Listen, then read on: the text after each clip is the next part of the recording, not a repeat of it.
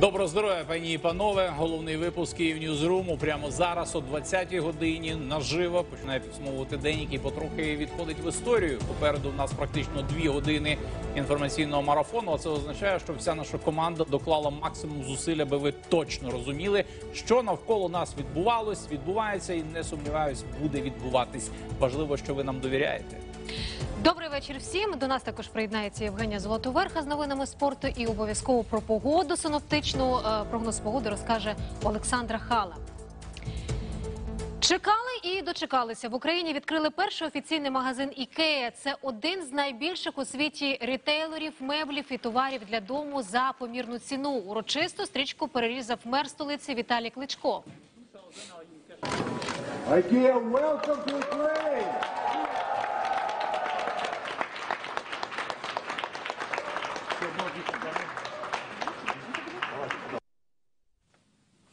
За словами Віталія Кличка, прихід компанії на ринок столиці обговорювали ще 4 роки тому в Давосі. Потім кілька разів у столиці. І от нарешті співпраця із шведською компанією дала результат. Прихід такого інвестора, як Ікеа, особливо цінний в ситуації, яку сьогодні долав світ через пандемію. Відкриття магазину шведської компанії це той позитивний сигнал, що потрібно для залучення інших міжнародних партнерів. Крім того, Ікея це ще і нові робочі місця. Тож для столиці це справді непересічна подія. Ladies and пані та панове, let's go ready to rumble! Так завжди починались е, великі події, і зараз починається велика подія в тому, що нарешті-решт IKEA відкрита в Україні. Фізично кожен з киян, кожен з українців може прийти і подивитись представника найкращої мережі в світі і отримати найкращий сервіс, який зараз тут представлений. Дуже радий. Більше 15 років IKEA спробувала зайти в Україну. Було багато складнощів, можна написати багато книг, як це відбувалось, скільки перепон було, але результат сьогодні відбувся. Багато років українці замовляли надпопулярні шведські меблі і товари для дому через інтернет за кордону або прямо за кордоном купували. Згодом таки дочекалися інтернет-магазину в Україні, і ось лише зараз магазин в столиці. На відкритті надпопулярної у світі компанії з 70-річним стажем побувала наша журналістка Катерина Селецька, і власне її слово. П'ять тисяч квадратних метрів, які повністю заставлені шведським інвентарем. Один з найбільших у світі ретейлерів товарів розмістили в київському блокбастер Мол. Від дрібних аксесуарів для дому до цілих омобльованих інсталяцій. Магазин IKEA нарешті офіційно відчинено і в Україні. І кількість відвідувачів від ранку вражає. Сьогодні ми тут. Магазин відкрито, і я вражений і щасливий відсвяткувати цей момент з колегами та з людьми, що вже мають можливість прийти і купити щось. Компанія IKEA була заснована у Швеції ще в 1943 році. Тоді 17-річний Інгвар Кампрат навіть і не думав, що вже в 2015-му й увійде до найбагатшої десятки людей за версією журналу Forbes зі статком в понад 40 мільярдів доларів. Ідея створити ікею в Києві виникла три роки тому, але для мене два роки тому, коли я перше приїхав до Києва. Я ще тут ніколи не був, і я відчув київський ритм, динамізм міста, надзвичайні місця для насолоди, зелену зону. Мої діти також оцінили це. Але я також мав це питання, коли ми відкриємо магазин. Відкрити IKEA в Україні хотіли вже давно. Чутки про це ширилися ще 4 роки тому. У 18-му анонсували відкриття магазину в іншому столичному торгово-розважальному центрі. Проте його відтермінували. Ще через рік з'явилася ідея відкрити в Києві чотири пункти, де можна буде отримати онлайн замовлення. Запустити інтернет-магазин вдалося лише минулого року. У ньому майже 4 тисячі товарів для дому. Ресурс має шалений попит в українського покупця, бо ж лише за день після початку роботи сайту система не витримала, а продаж товарів на деякий час обмежили. З огляду на кількість відвідувань, наш сайт зараз працює повільно, і придбання товарів може бути тимчасово неможливим. Проте ажіотаж на продажі не зник. Від кількості покупців система давала збій і при офлайн відкритті. Потрапити до магазину не так вже й просто. Треба спочатку зареєструватися за QR-посиланням та почекати в онлайн черзі, оскільки в магазин запускають лише до п'яти сотень людей. Проте ті, хто прийшов на відкриття, готові чекати в черзі, оскільки товарів в магазині більше ніж 5 тисяч одиниць. А це значно більше ніж було на українському сайті. Проте для когось і цього асортименту не вистачає. Хочеться більше. Більше, тому що всі ознайомлені з великим асортиментом, який є у світі, в Європі. А у нас поки що те, що я думала, що я прийду і зразу тут е, придбаю, то ні. Поки що підбираю альтернативу. А якщо ви, так як і я, загубилися в асортименті, то вам на допомогу прийде ось така панель, де можна переглянути весь асортимент і вибрати щось для вас. До того ж, відколи запрацював український сайт магазину, у Києві відкрилися ще й чотири пункти видачі онлайн замовлень. Тож ті, хто не любить чекати в черзі, можуть використати альтернативу. Чи давно чекали, що відкриється Ікея в Україні? Фанат страшной Икеи, очень ждала и уже очень много всего заказала в онлайне, пока не открылся физический магазин. Як вам зручніше замовляти онлайн, чи все ж таки прийти і побачити, пощупати? Прийти, жмакнуть, а потом можно и онлайн заказать, если неудобно тащить. А це центр відновлених товарів. Тут меблі отримують друге життя, а покупці змогу купити товар з оцінкою. Хоча ціни в магазині доволі демократичні. Як ціни подобаються? Комфорт? Дуже дуже. Я взагалі я мріяла про відкриття Ікеї в Україні понад 20 років. Я вперше почула, коли була студенткою про цю компанію. Е, І ну це було більше 20 років тому. І відтоді я мріяла, коли вже нарешті Ікея буде в нас. Вишукана простота, доступність та екологічні матеріали. За це ікею обожнюють у всьому світі. І наостанок питання, яке мучило всіх: як правильно виголошується назва бренду Ікеа чи Айкіа? Ікеа, тому що це Інгвар Кампрада, ім'я засновника. Ельмптаріда ферма, де виріс, а Агунарді рідне місто, де народився. Катерина Селецька, Василь Охріменко, телеканал Київ.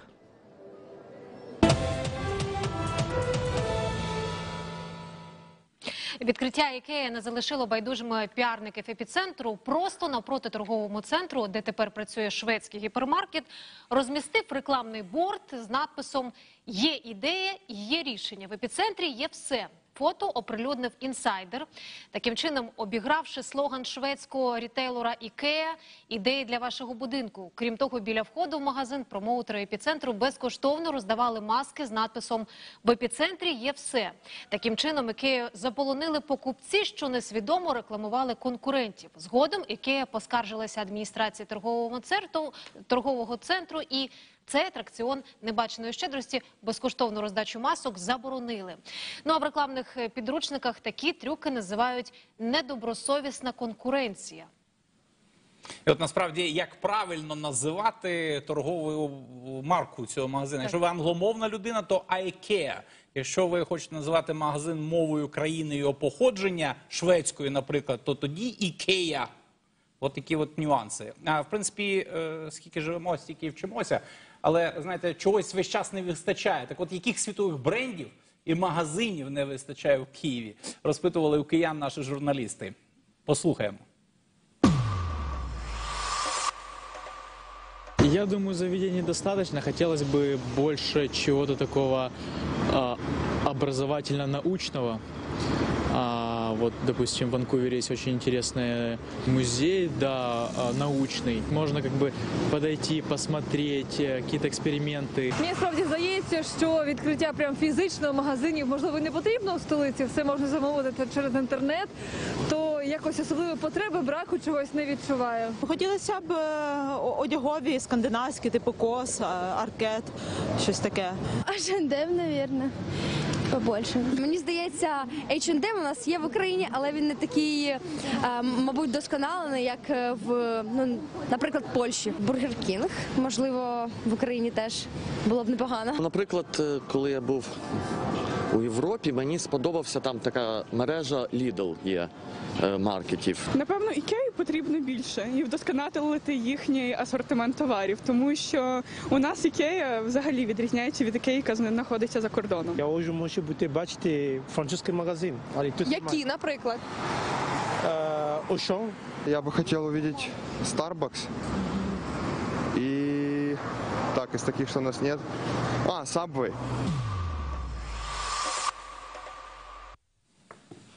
Ну а зараз ми будемо говорити про ситуацію на дорогах Києва, зокрема на перетині вулиці Лісковської та Радунської, що на Троєщині зіткнулися дві автівки Кія і Фіат Добла. Що сталося і чи є постраждалі? Нам зараз розкаже Олена Акименко. Будь ласка, Олено, тобі слово. А, вітаю, Яно. Друзі, дійсно ми знаходимося на Троєщині. І зараз за моєю спиною автівку Фіат Добло якраз а, е, завантажують на евакуатор. Автівка, яка пошкоджена, друга автівка Кіа. Вона вже евакуатор її вже забрав. Її вже тут на місці немає. А, е, у нас є е, один е, інтерв'ю е, водія усієї автівки, яку зараз збираються завантажувати. Будь ласка, прошу пряму мову. Хто кого нас догнав? Да суд выяснит. Никто никого э, не разминулись, наверное. Но суд будет выяснять.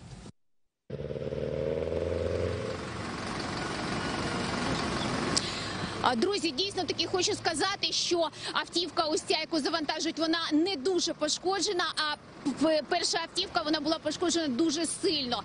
А хочу таки сказати ще про те, що за минулий тиждень, друзі, 753 ДТП зафіксували. І хочу сказати ще одну річ про те, що от ми зараз поблизу пішохідного переходу знаходимося.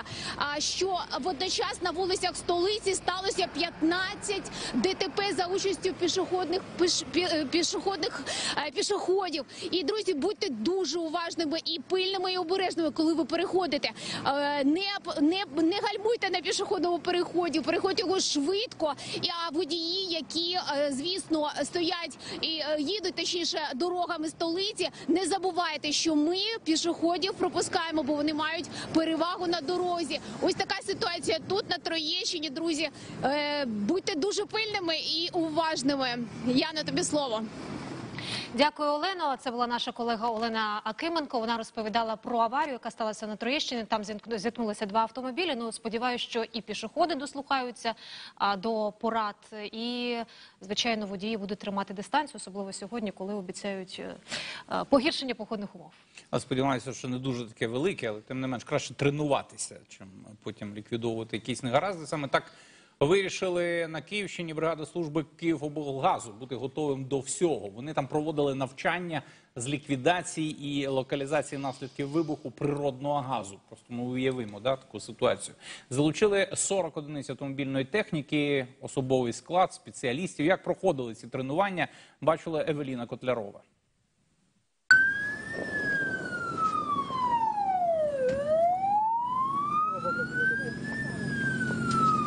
Надзвичайна ситуація, з якою мають впоратися аварійники, дуже реалістична. Прорвало газопровід, і з місця прориву вихоплюється полум'я. Це помітили місцеві та викликали бригаду. Фахівці негайно виїжджають на місце та починають ліквідацію. Витік газу ліквідовано шляхом встановлення зажима, пережима, жорсткого бандажу. Як зрозумів прийом? Зрозуміло. Та попереду на аварійників чекає нове випробування порятунок пораненого колеги. Він за легендою під час ліквідації пошкодження зламав ногу. Тож на місце терміново викликають швидку. Та до її приїзду облгазівці самі накладають побратиму бандаж. Слесар Максименко при проведенні аварійних робіт зламав ногу, похоже на перелом. Будь ласка, визивайте швидку допомогу. Ми надаємо першу медичну допомогу самі. Під час навчань у худосівці представили прилади для виявлення витоків газу та спецтехніку. В арсеналі аварійників надсучасні лазерні вимірювачі, які можуть виявити витік на відстані до 50 метрів, а також інші новітні технології. Цей прилад пошук витоку газу з хроманалізом. Тобто він робить, він шукає тільки наш газ сітєвий. Інших газів він не бачить. Це прилади призначені для е, пошуку підземних газопроводу без вкриття. Вони також так, що, е, вони роблять діагностику стану ізоляційного покриття е, нашого газопроводу. Аварійні служби облгазу мають і сучасний автопарк більше трьох десятків автівок. Деякі з них можуть виявляти пошкодження на газових магістралях у русі. Машина предназначена для діагностики підземних газопроводів. От, вона шукає витоки е, з підземних газопроводів при швидкості до 40 км в час. Е, цих машин на Україну 8 штук всього. От, одна з них у нас. Навчання спеціально проводили поруч із поки що не заселеною новобудовою, щоб не лякати місцевих. Зазвичай під час ліквідації прориву також обстежують будинок та евакуюють мешканців. Тренувальне навчання провели на достойному рівні. Е, За результатами навчання можу е, здати повну ввіреність в тому, що аварійна диспетчерська служба працює на найвищому рівні. Провели навчання по ліквідації аварійної ситуації на газопроводі підземному. Також провели е, навчання по наданню першої долікарняної допомоги на випадок, якщо трапиться якась е, нештатна ситуація із працівником нашого підприємства. Та безпека залежить не тільки від аварійників, а й від пильності киян. Тож щойно почули запах газу. Телефонуйте на гарячу лінію 104. Евеліна Котлярова, Дмитро Кокотов, телеканал Київ. З 1 лютого українці будуть платити 6,99 гривень за кубометр газу. Така ціна буде діяти до завершення опалювального сезону або до завершення карантину. Постачальники газу не матимуть можливості підіймати вартість вище 6,99 гривень за кубометр. Водночас газопостачальна компанія Нафтогаз України встановила ціну газу для населення на лютий у розмірі 6,86 гривень за кубомічний метр для клієнтів, які оформили Тарифний план річний у 2020 році. Вартість газу становитиме 4,73 гривні, 5,24 та 6 гривень 45 копійок за кубомічний кубу- кубічний метр відповідно до умов договорів. Я навколо цього питання багато власне і суперечок ламаються списи, в тому числі і у Верховній Раді. Але знаєте, якби то далеко. А ми з вами безпосередньо ті, які оплачують комірнеп щомісяця. Ну хто оплачує, хто ні, бо сьогодні цифру називають 73 мільярди гривень заборгованості українського населення. Давайте спробуємо е, роз'яснити всю ситуацію, особливо майбутні перспективи, тому що місяць, два, а далі що? Запитаємо у Валентина Землянського, директора енергетичних програм Центру світової економіки і міжнародних відносин Національної академії наук України. Пане Валентине, добрий вечір. Добрий вечір. Дякую, що приєднуєтесь до нашого спілкування. Ми фантастично раді від цифр, які запропонував уряд. А хтось говорить про це про те, що ця цифра там зі стелі 6,99 взята. Хтось говорить, як Шмигаль на трибуні Верховній Раді. Ми взяли газ з 19 року, змішали з 20-м, порівняли на біржу в Голландії. От вам 6,99. І то не назавжди, і то це ще не точно. Так, от яка перспектива цієї всієї? А, історії 699, укрупнення, націоналізація, введення а, тимчасових адміністрацій в облгази. А, це гра на одну команду нову на газовому ринку. Чи це намагання, якби і е, щоб вовки були ситі і вівці цілі? Що відбувається насправді? Да ты врал. Это. На самом деле это паника, потому что это решение, которое принималось действительно в авральном... То есть офис президента сказал, а ну бегом, надо, надо что-то с этим делать. Ну и вот начали что-то с этим делать. Так это не решается. Так решения не принимаются, потому что м, реше- э, в система формирования цены, алгоритм формирования цены, он должен устанавливаться на газовый год. Ну, давайте объективно. С октября по октябрь, да, то есть вот мы понимаем вот с начала отопительного сезона и до начала следующего отопительного сезона у нас есть понимаемый принцип формирования цены. Если государство начинает играться, то есть мы там до января строим рынок, а потом мы снова строим, так сказать, коммунизм, и административно-командную систему, извините, так, так это работать не будет. Более того, эта административно-командная система, она проработает до апреля месяца, а что потом? А потом вот президент сказал, что надо думать, надо смотреть. Но понимаете, в чем проблема? Проблема, что клиповость сознания, это проблема общества, да, клиповость сознания, она, к сожалению, переметнулась на нашу политику. Вот были там предвыборные обещания, давайте сделаем, а давайте. Потом был Гончарук на самокате. Ох, как здорово, Гончарук на самокате. А потом, а потом забыли. И потом просто на это никто не обращал внимания. А когда платежки пошли вверх и достигли уже, извините, пиковых значений, которых не, не было даже при Гройсмане, вот тут вот, собственно, мы с вами увидели все вот это, ну, не знаю, вакханалию. А вот, э, в- дальше, м, я вам честно скажу, пока не знаю. Пока, пока все ждут голосування Ветренко. А, пане Валентине, ну Третій, третій раз. Да, е, якраз от ми і говоримо, що прийде людина і все порішає, насправді, але ж у два рази в цієї людини не вийшло. Буде ну, які так передбачення, що може і третій раз пан Вітренко буде поданий е, через офіс президента кабінетом міністрів е, і особисто паном Шмигалем на цю посаду. В- нього більше на ваше відчуття, все ж таки доведення до логічного завершення певних тез, які він висловлював, зокрема, краще високі зарплати ніж масові субсидій, що ціна повинна бути справедливою. Давайте український газ будемо більше якби давати можливість доступу широко. Чи все ж таки якийсь принцип пов'язаний? Я пану Коболєву ще дам відповідь. От чого тут О. більше? Вот тут, вот тут больше второго. А. Тут масса, масса амбиций, даже не только Коболева, а здесь масса амбиций, огромнейшие амбиции господина Ветренко показать. Просто, м, понимаете, простой вопрос, а что ему мешало пять лет в НАК «Нафтогаз Украины» сделать все то, что он сейчас обещает, э, на, бал- ну, представляясь, да, или пред- как- как- когда его представляют на пост министра энергетики. Ведь это же господин Ветренко, поднимите его выступление 15-16 года. Он рассказывал, что у нас на 30% вырастет добыча газа в 2016 году. А точка сидіння визначає точку зору, пане Валентине. Он говорил о том, что государство ни в коем случае не должно вмешиваться в ценообразование на газ. Это же его слова были. Ну, то есть они же с господином Коболевым были идеологами вот этого рынка газа, к которому мы с вами пришли. Для чого, а, о, для чого його подають двічі, можливо, і третій раз? Які завдання, як вам виглядає? Підсидіти Ну, це- пана Шмигаля, чи все ж таки щось е, полагодити е, в такому контексті з ринком? Не-не, это игры патриотов, потому что в данном случае, я думаю, это игры финансово-промышленных групп. Ничего общего э, с социально-экономической политикой и улучшением нашей с вами жизни там и рядом не стояло. А останнім, останніми днями Є ми чуємо якусь ідею стосовно прийняття однієї з політичних сил закону, е, по- пов'язаного з тим, щоб е, український газ там стає 30%, якщо не поміняю, не помиляюся, там е, націнкою, рентабельністю і так далі, дати українцям за 3 гривні. Тобто є можливість, якби перспектива, аби до українського газу, якщо вже говоримо про біржу українську, мали доступ усі гравці українського газового ринку, а не тільки Нафтогаз.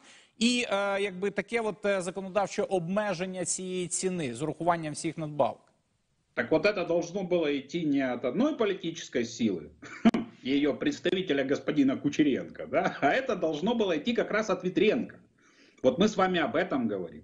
О системности решений, о необходимости как раз изменения системы. Система рын- рынка в газе и система рынка в электроэнергии построена таким образом, закон так прописан, что она носит изначально спекулятивный характер. Ну, то есть, ну, извините, мой непарламентский барыжничество.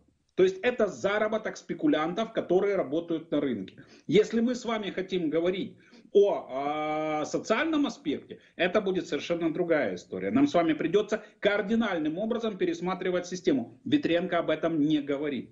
Коболев об этом не говорит. Ну, То есть це- все говорят, что в рамках действующего законодательства, а, обязательств перед Европейским Союзом и Международным валютным фондом, мы как-то постараемся ужаться и сформировать какую-то более-менее приемлемую цену. До речі, згідно там второї частини цієї людини, яку ви згадали, передбачається і те, щоб тільки українські громадяни займали посади в наглядових радах, в тому числі. Но, кстати, не, ху- не худший вариант, потому что я очень хорошо помню отповедь м, главы Напсовета госпожи Спотисвуд еще Гройсману, когда он спросил, а за какие такие заслуги Ветренко и Коболев получают, так сказать, многомиллионные премии. И ответ был, ну, мягко говоря, не ваше, это собачье дело. Почему мы решили выплатить им такие премии. Вот поэтому я прекрасно понимаю, почему такая норма появилась в законе, потому что эти люди не имеют никакого отношения ни к украинским гражданам, ни к украинскому рынку газа. Дякую, пане Валентин. Валентин Землянський про газову матрицю для українських громадян, яка побудована кимось із космосу. Дякую, директор енергетичних програм Центру світової економіки і міжнародних відносин Національної академії наук України був з нами в прямому м, ефірі. а Ми рухаємося далі з теплом, правда, фейковим, в куртках, в шапках із кисневими масками, практично в руках. Інформацію про нелюдські умови лікування пацієнтів з ковідом в столичній 17-ї лікарні оприлюднило одразу три телеканали одного власника. Правда, посилаються вони на е, допис в Фейсбуці е, журналістки, яка є знайомою з однією з пацієнток. Медзакладі миттєво відреагували, допис назвали брехнею, запросили всіх охочих представників засобів масової інформації прийти на власні очі переконатися, що фото з Фейсбук не відповідають дійсності. Представники каналів, які розганяли зрадоньку, запрошення проігнорували. А ось наші журналісти ні. Відвідали саме ту палату, де перебували жінки. Тепло і пацієнти в футболках присутні. Туалет з фото також не має відношення до відділення. Загалом ремонт є у всіх палатах, пластикові вікна, жалюзі і навіть кондиціонери. Ми поспілкувалися із жіночками з допису на питання, чому вони не вмикали кондиціонер на тепло. Вони м'яко відповіли, що темні і не знали про нього. Коли ми приїхали, фрамуги були відкриті, це перше, було прохолодно. От, а батареї не дуже були гарячі. Але там був кондиціонер, можна було б його включити. Ну ми не знали, понімаєте, ми не, ну, що ми включимо, мало лі що згорить щось, або пожар якийсь буде. Ми темні люди. Дві жінки з 12-ї лікарні були переведені до нас. е, Палата провітрювалась. Да? Е, Тобто я не виключаю того, що одразу після того, як жінки е, були госпіталізовані в цю палату, можливо, було прохолодно. Але є кондиціонер, є пульт, да, яким можна користуватись. Він завжди, і в принципі, ну, температуру комфортно зробити дуже швидко. У мене закрадається думка, що можливо це знов таки якісь е, рейдерські варіанти, оскільки півтора гектари землі в центрі міста, так це такий ласий е, шматок, і ну багато вже таких спроб було. В пості була також інформація про те, що лікування здійснюється за рахунок пацієнтів і їх рідних. Це теж брехня. Навіть пацієнтки з публікації заявили, що жодного препарату власним коштом не купували. Ліків ні одної копеєчки я не потратила. І всі дівчатки. Ліки не покупали, все нормально. Ми зараз знаходимося у відділенні інтенсивної терапії е, на 10 ліжок.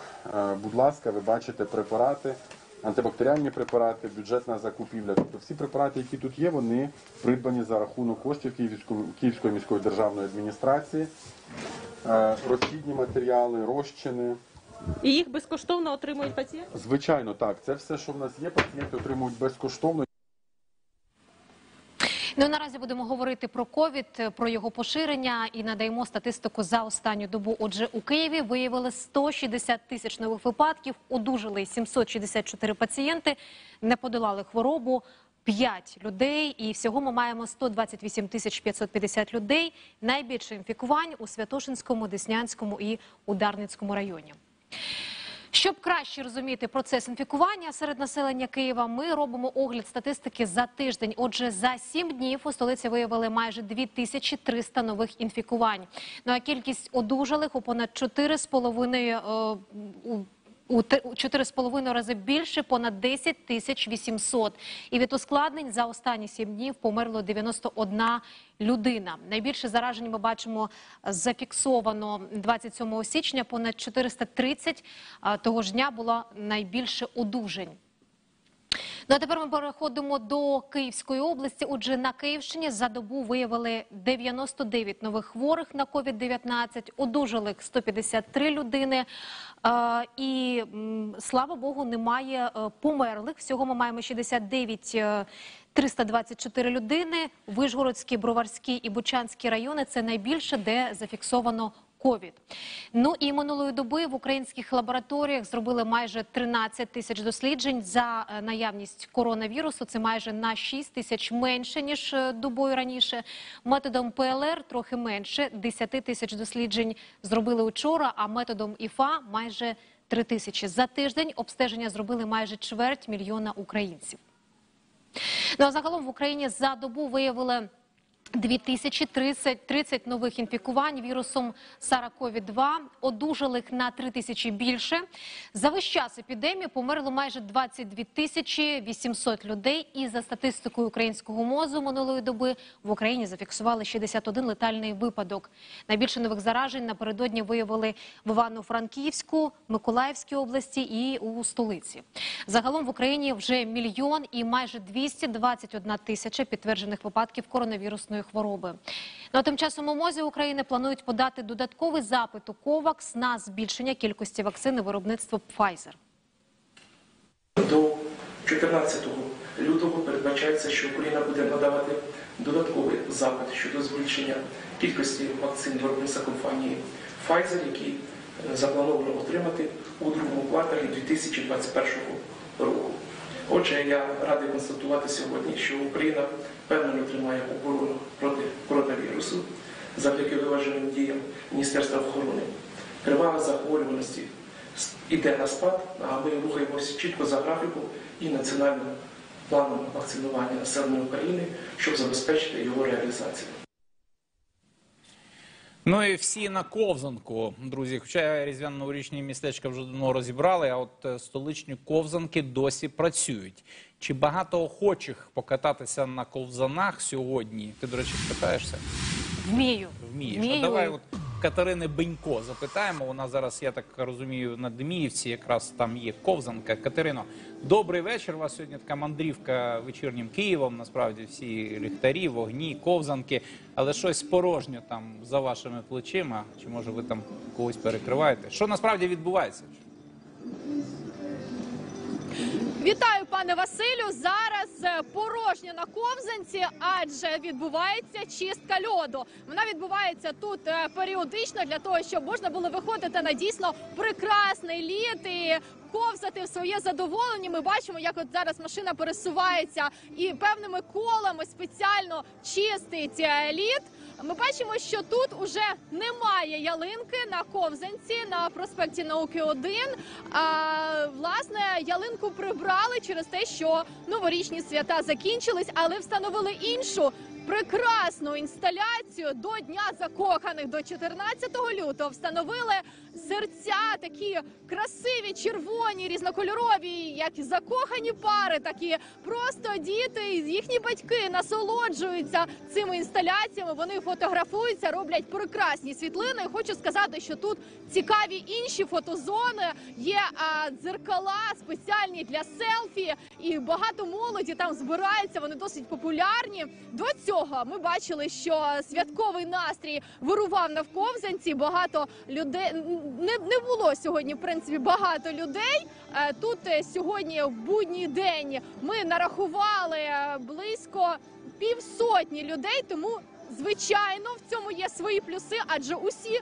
Дотримувалися соціальної дистанції, дотримувалися усіх правил на ковзанці. І зараз я хочу попросити пряму мову.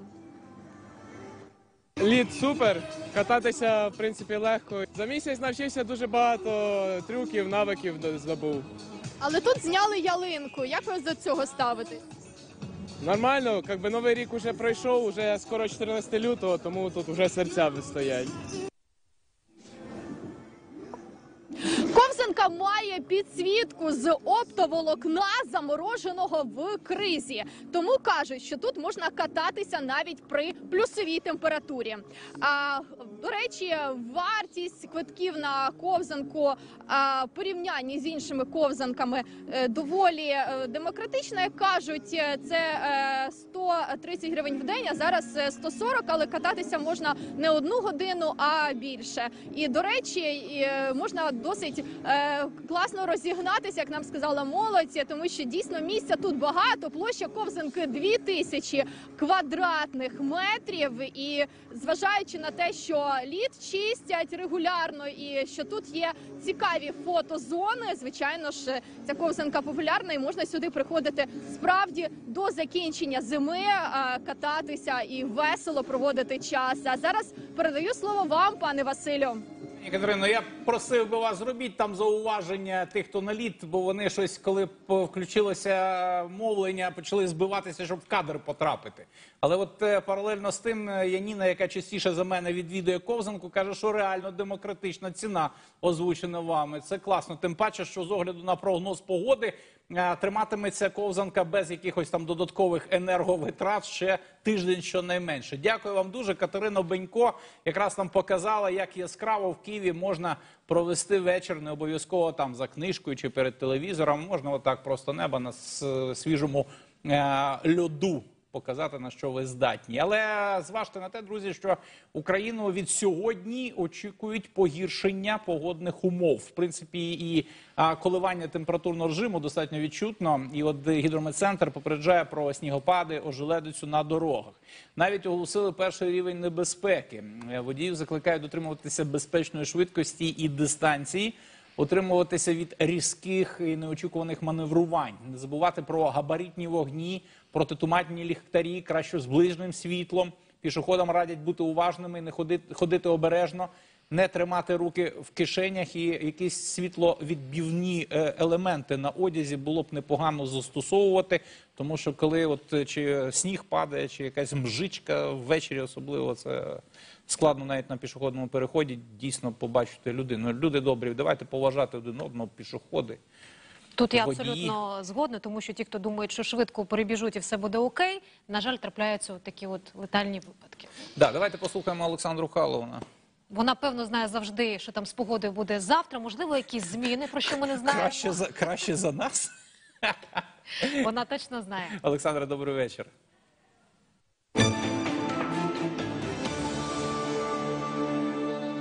Вітаю вас, шановні колеги, і доброго вечора всім киянам. Отже, ще один циклон знову ускладнив синоптичну ситуацію у нас по Україні і на Київщині. Зокрема, сьогодні доволі сильні опади у вигляді мокрого снігу та дощу спостерігалися у центральній частині нашої країни, також на сході та півдні, на Одещині, Миколаївщині, Харківщині.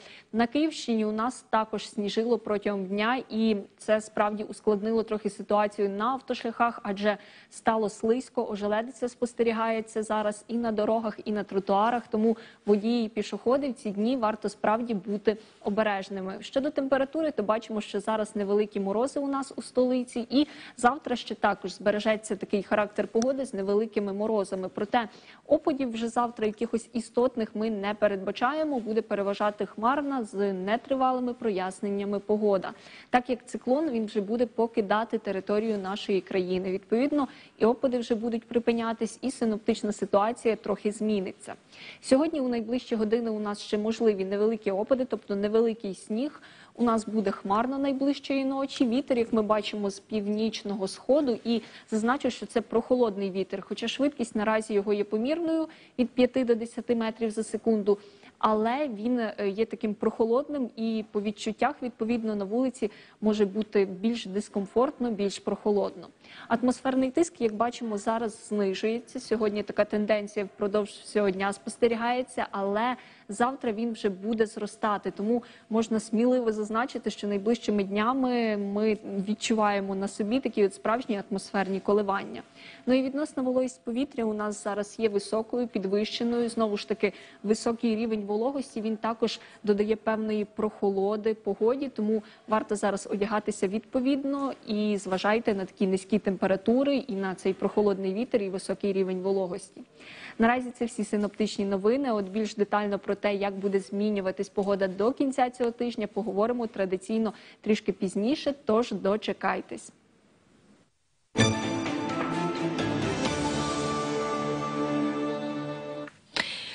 Кавову гущу для боротьби з ожеледицею вперше використали в одному із парків Львова. Це пілотний проєкт. Його ідею місцева влада запозичила у західних сусідів. Під час експерименту посипали близько 200 метрів доріжки.